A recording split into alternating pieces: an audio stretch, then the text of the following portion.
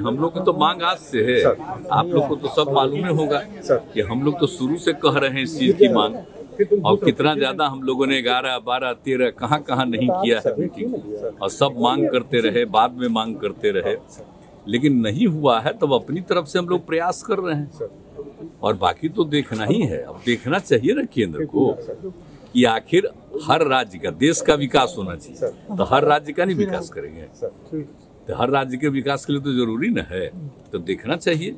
अगर वो देखते तो अभी भी और भी अब देख रहे हैं हम लोग कि मान लीजिए हम लोग को बहुत ज़्यादा और काम करवाना चाह रहे हैं। तो हम लोग सोच रहे हैं हम लोग को और भी अगर नहीं दे रहे हैं तो हम लोग कर लेना चाहते हैं। तब आजकल उस सब पर भी रोक लगाए हुए इसका मतलब जो गरीब राज्य है अब तो अपना कर्जा भी नहीं लेगा और कुछ आगे नहीं बढ़ेगा ज़्यादा। ये कौन काम ये लोग कर रहे हैं? इसके पहले कभी केंद्र सरकार ने इतना इंटरफेरेंस नहीं किया है। ये आप लोग जरा एक एक चीज़ बात तो बेचारे आप लोग क्या कीजिए?